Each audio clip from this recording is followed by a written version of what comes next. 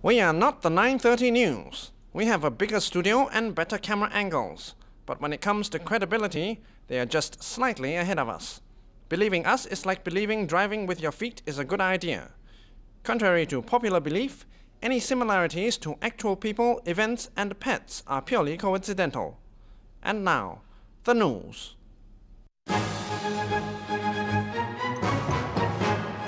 Entrepreneurs cash in on Lucky Charms to help gamblers at the IRs. Hawkers draw up plans to improve hygiene and food safety standards. And state investment firm Tembusu Holdings extends an olive branch to the Greek government.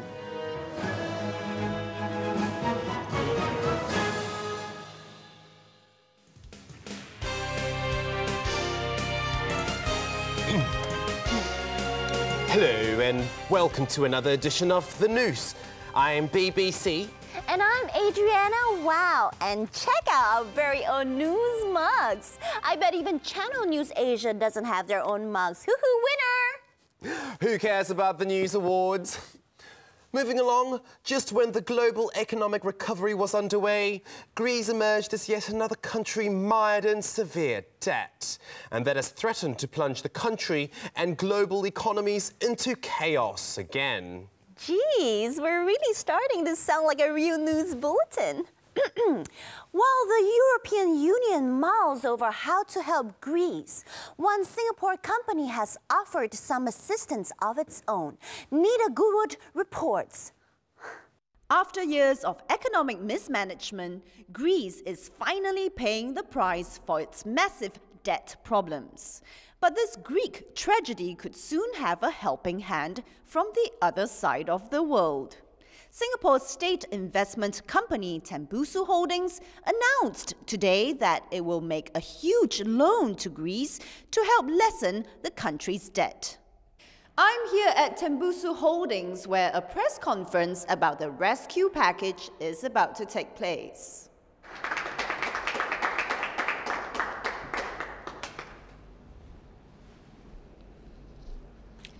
Well, um, Hello, everyone, and um, thank you for coming down today for the press conference. Feel free to ask as many questions as you want. As you know, we are very comfortable with answering questions.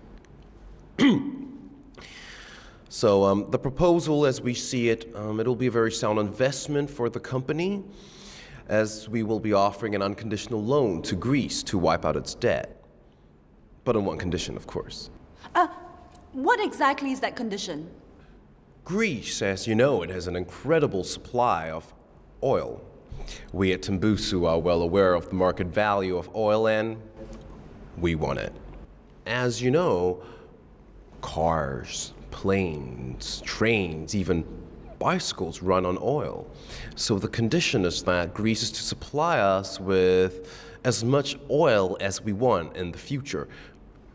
Not too much, but enough to keep us very, very happy. I hope all of you can see that this is an incredible bargain for our company and that we deserve pats on our backs for this forward-thinking investment strategy.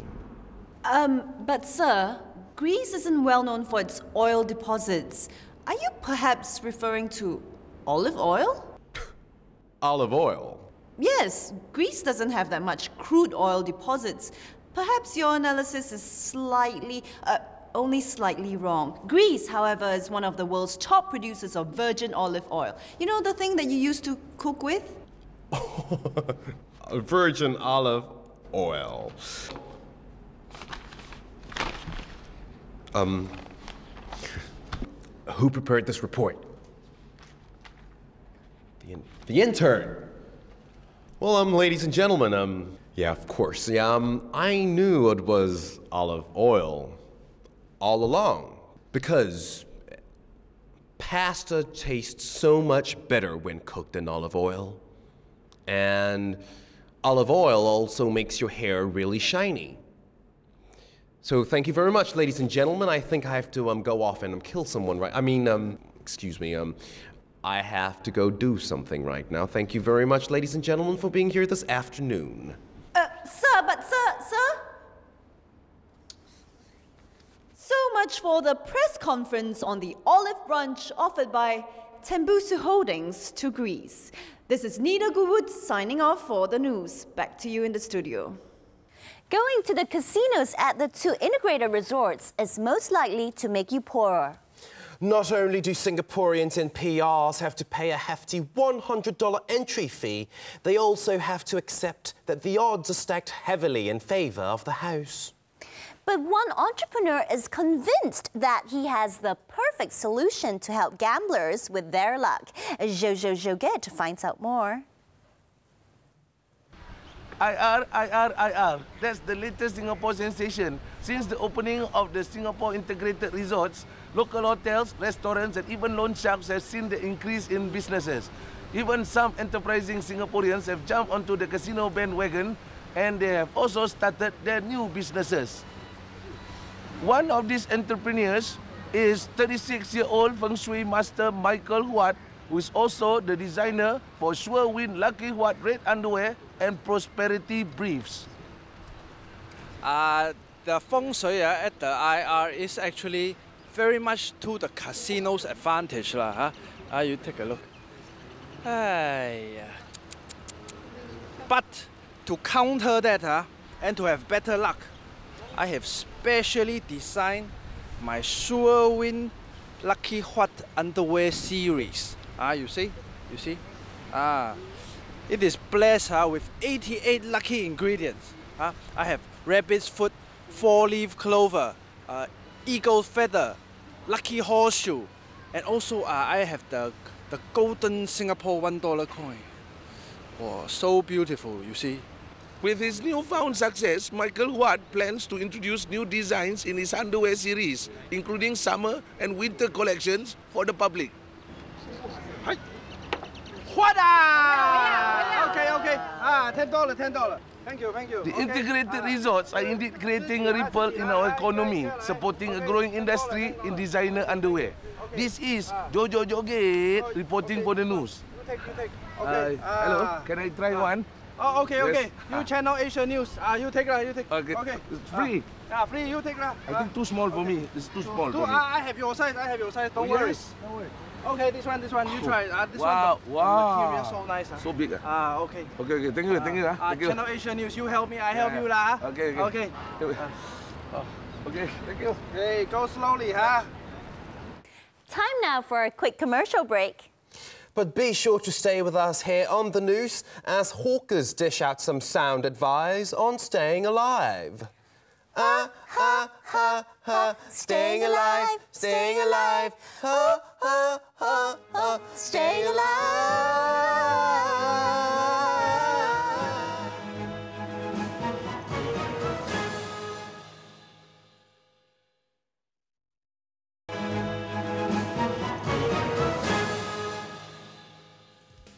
Welcome back to the Noose. Ladies and gentlemen, just in case you didn't know, the Noose team was recently presented this wonderful trophy by the Deputy CEO of MediaCorp, Mr. Shaun Seow, for our outstanding achievement in contributing nothing to journalism. An honour usually reserved for most broadsheets in Singapore. Last year, a food poisoning case in a local hawker centre highlighted once again the importance of hygiene standards at eateries. And some hawkers now have put in place measures to ensure that unhygienic food ceases to be a problem. Here's Nita Goodwood again, again, with the report. Oh. After all the controversy that was created by the Rojak incident last year, several store owners have had their own internal reviews to come up with measures to reduce the risk of such incidents ever happening again. Safri bin Mata Lembu is one such example of an affected entrepreneur.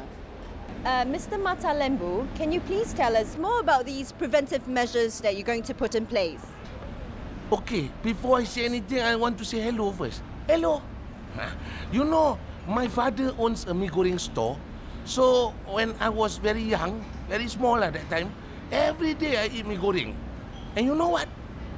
I go to the toilet a lot. For 35 years, I've been getting stomach ache. You know what does that show? What does that show? Um, no. What does this show? It goes to show that this kind of thing cannot be avoided. If you want to eat, you must be prepared to go to the toilet.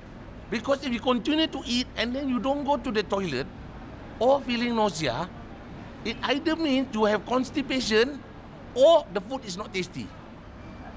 But Mr. Lembu, you haven't mentioned anything about the preventive measures. Uh, for example, like using more hygienic methods of cooking? Ah, of course, of course. But I got better thing than that lah. You know what? I got a very good idea. I want to make them sign disclaimer form. Before they eat the food, they must sign disclaimer contract like this. Brilliant, right? Brilliant! Brilliant like Roti John. What's so brilliant about Roti John? I am going to ignore that ignorant comment about Roti John, okay? Okay, but let me tell you something about the contract. Ah, before you eat from our stall, you must sign this form first so that you will not hold us liable for anything like stomach ache, headache, or even coma. Brilliant, right? Brilliant! Other hawkers I spoke to say customers should also be more responsible in terms of the food they purchase. Okay, if you buy um, my laksa or you order any kind of food uh, that contain a coconut milk, don't go and order the drink that also contain milk. Uh, surely will get stomach ache one. Uh, and then if you see a store, uh, the queue very, very long. And then the auntie and uncle from the store uh, never ever go toilet one. I will surely avoid that store. Uh, think properly first. Uh, and, and then if you see three or four uh, store selling the same thing in the same hawker center, don't ever ever buy from the one that tell you uh, they are the best in the world, best in the universe. Don't buy. Buy from the one that tell you they are best in that hawker center. Uh, that is truly the best food. Uh, Meanwhile, the National Environment Agency is also stepping up efforts against errant hawkers who continuously flout hygiene standards. We are not amused by all those hawkers who think they can hide behind 101 endorsements by Channel 5, Channel 8, Channel U, Makansutra and all that.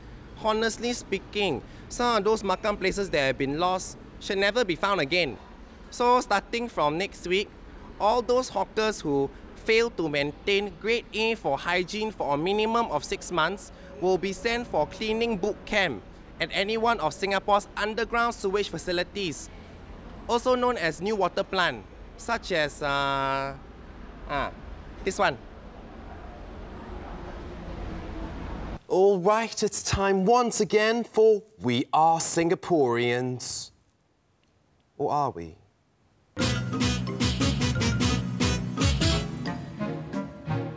Can you name the field that is between the Singapore Cricket Club and the Singapore Recreation Club? I don't know. I'm quite sure where is it anyway. Jurong Temasek Club. This one lah, skip ah. Uh, Ceylon Cricket Club, is it? Padang.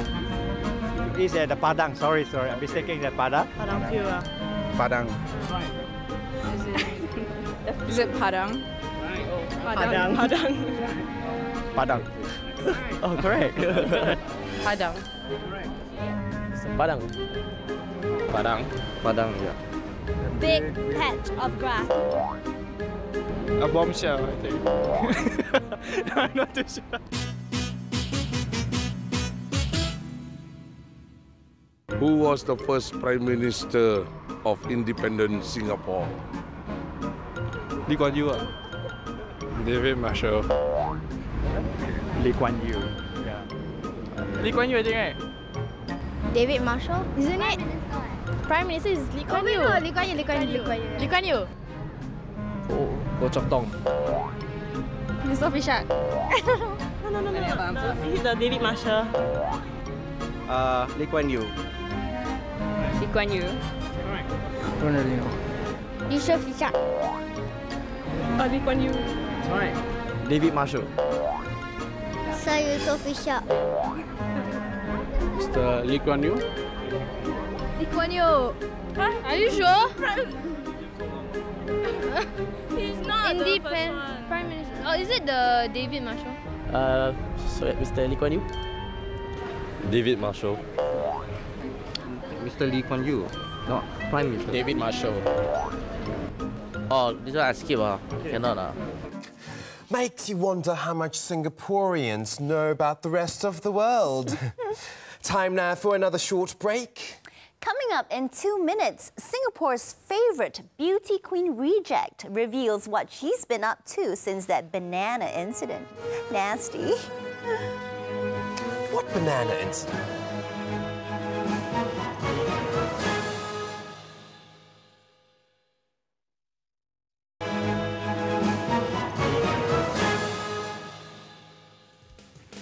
Welcome back and thanks for watching the Noose. Every Singaporean by now would be extremely familiar with the former beauty queen turned celebrity Reese Lowe, the one and only Booms and Shing's girl. However, what viewers might not be aware of is that she has been very busy recently with her latest project, something that she feels will excite her fans to no end. Here's Jacques Wee with this exclusive interview. It may have appeared to the general public that our favorite ex-beauty queen, Ms. Riz Lowe, had disappeared from the public's eye. But once again, we've outdone ourselves. We have arranged for an exclusive interview with Riz herself to find out more about what she's been up to lately. So, Ms. Lowe, where have you been all this while?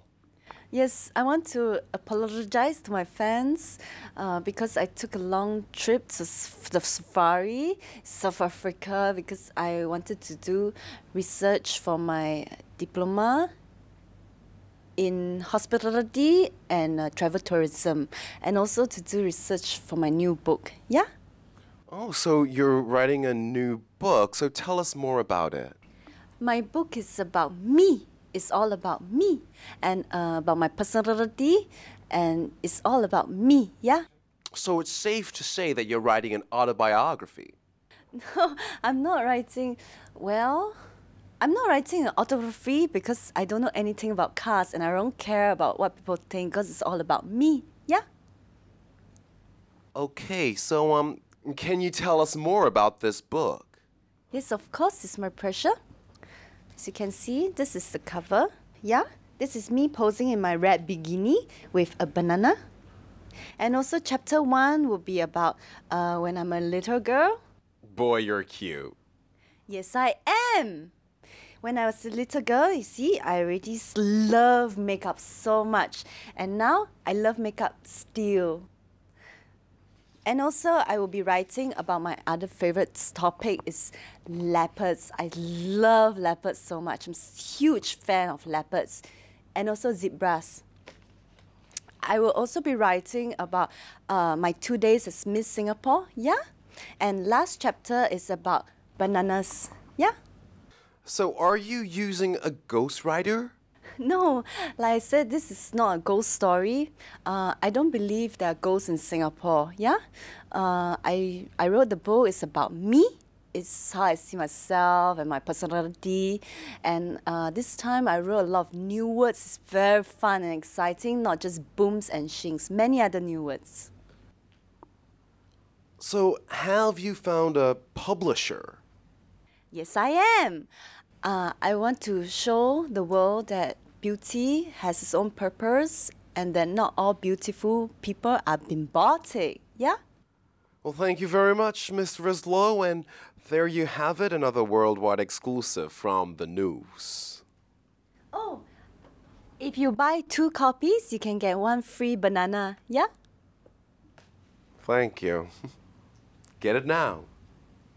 Or tomorrow. Time now for a quick update about the financial world with Andre Chichok. Hello, Singapore. Well, well, well. The year's most anticipated event has come and gone. I'm talking, of course, about England's exit from the World Cup. Oh yeah, oh yeah, oh yeah, yeah!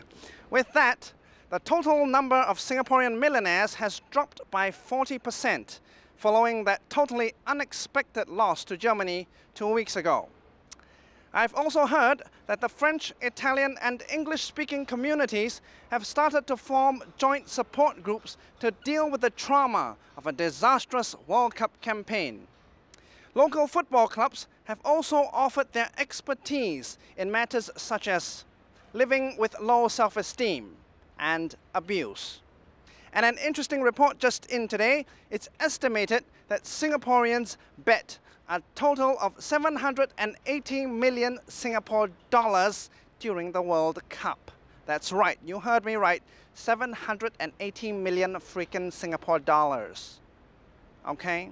It's suggested, it's been suggested, FIFA will use this figure to price World Cup telecast rights for Singapore in the future.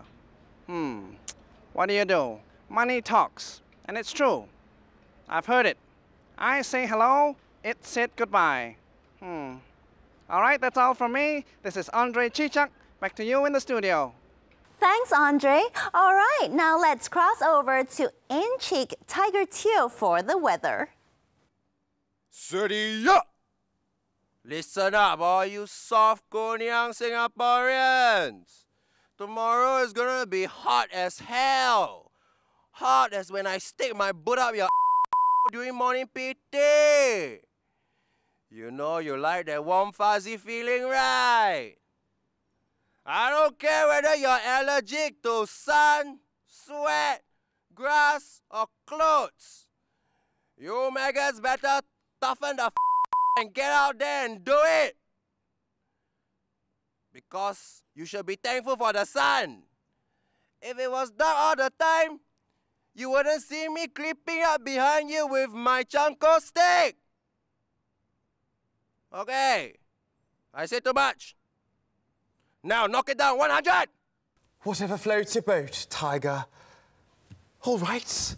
That wraps up this edition of the Noose. Be sure to check our website for more news and useless information. I don't know why they keep asking me to say that. They never update that thing ever. Shh. Good night. Uh, bye-bye. So true.